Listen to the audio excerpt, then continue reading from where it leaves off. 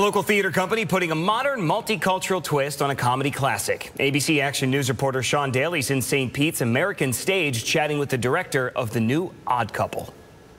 Oscar is a slob. Felix is Nate.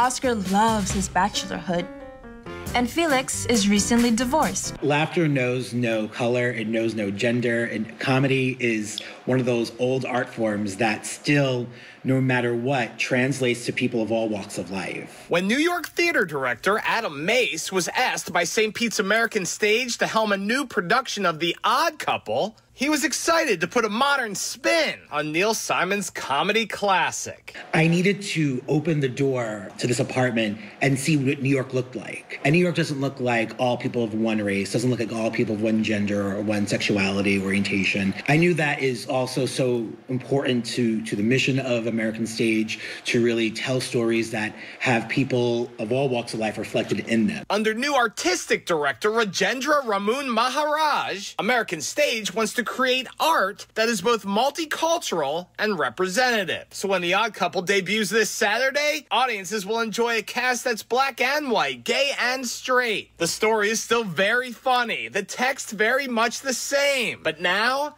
the play looks even more like us. It is important for people of all walks of life to see themselves reflected on the stage. In St. Petersburg, I'm Sean Daly, ABC Action News.